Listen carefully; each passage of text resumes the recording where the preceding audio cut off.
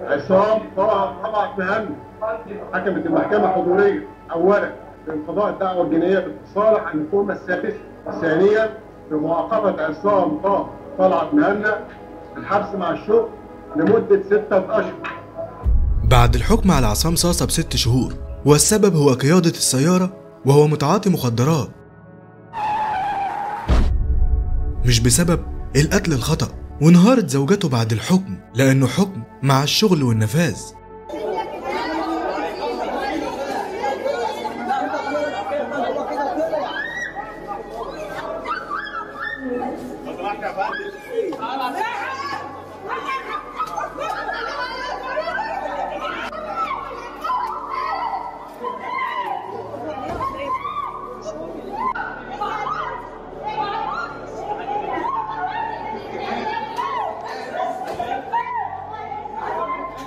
يا ترى بعد كل ده عصام صاصة هيطلع براءة في الجلسة الجاية فعلا؟ ده اللي هنعرفه مع بعض في الفيديو ده. بس قبل ما نبدأ الفيديو أتمنى من حضراتكم تعملوا لايك للموضوع واشتراك للقناة وتفعل زر الجرس عشان يوصلك كل جديد.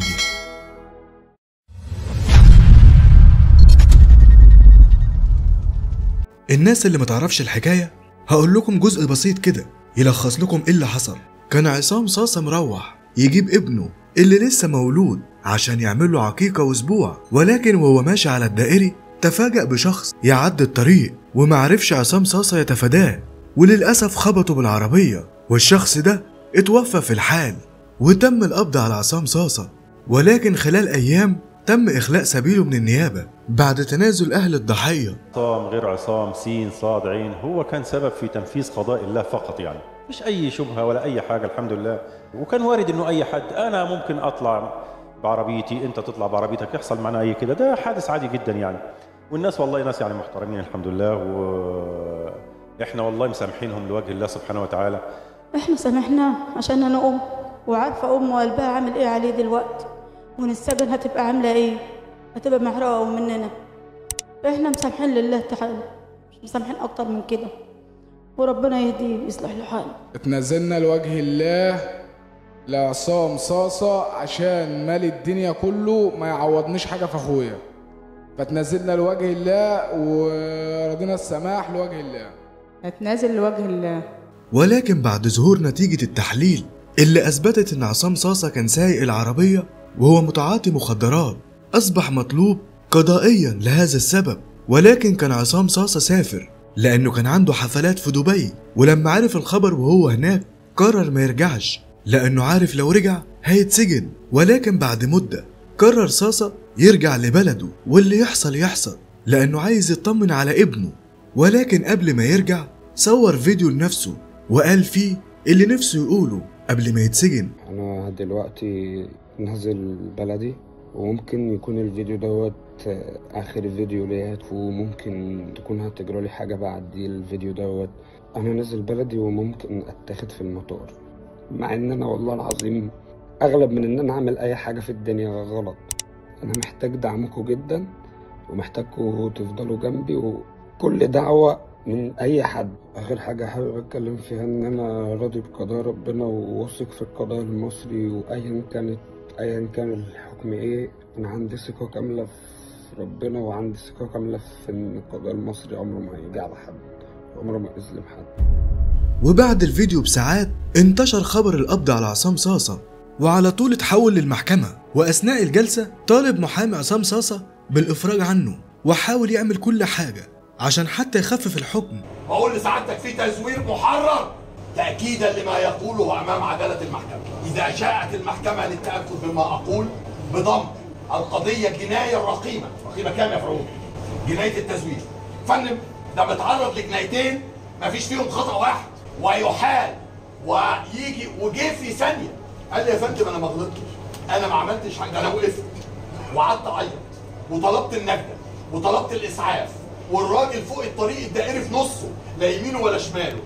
وما عملتش حاجة عملت مضيت للشهر العقاري قبل ما أسافر في في مكتب أحد الناس. حمية. كويس مضيت التوكيل ومشيت. وأخويا راح يستلم وقال الكلام ده في تحيات وأخويا قال الكلام ده في تحيات فالموظف قال له امضي لي هنا. خاف. فلا شوشره طب فين مخالفة الحقيقة؟ ده عملوا له تزوير. بقى جنايتين ممكن ياخد في كل جناية أحكام مشدده جدا. ما عملش حاجة. تعاطي مخدرات في الدنيا.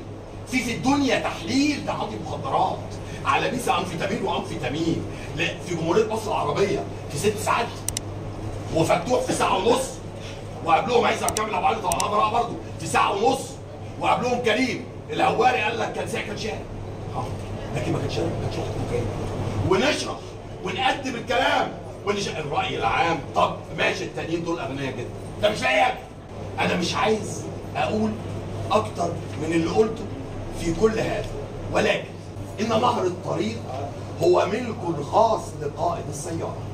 فمن اقتحم عليه نهر ثم لاقى حتفه فإن خطأ المجني عليه قد استوعب خطأ الجاني واستغرب. هذا هو رابطة السببية في هذا الموضوع.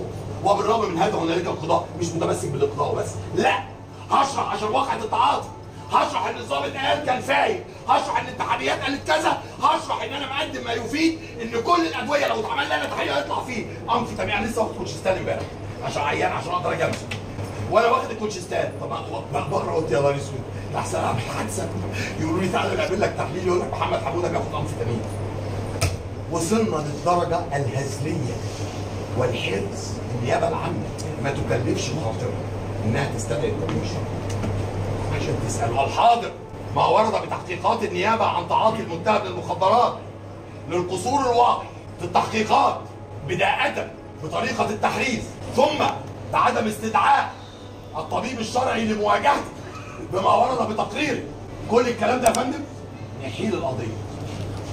نوديه محكمة الجنايات في أربع أيام. طب كم مواطن بيعمل قتل خطأ في مصر في الشهر؟ ده إحنا عدد حوادث القتل الخطأ 1100 كل شهر اشمعنى بقى وبتتحل بعد سنة؟ اشمعنى كل واحد الإعلام يصور أربع أيام؟ وقلتها أنا بيحاكمني في جمهورية مصر العربية نص إعلام. عايز كده. لكن أنا ماشي امام دايره لا بيهمها إعلام. بيهمها الحق. وقانون الإجراءات الجنائية والعقوبات وأسبق الإجراءات على العقوبات حيث إنها الحصانة والحماية. لإلا زي ما قلت ما إذا رحمت فأنت أخ أو أب هذان في الدنيا هم الرحماء. وإذا عفوت فقادرا ومقدرا لا يستهين بعفوك الجهلاء ورأي قضاؤك فينا رأي محتكم.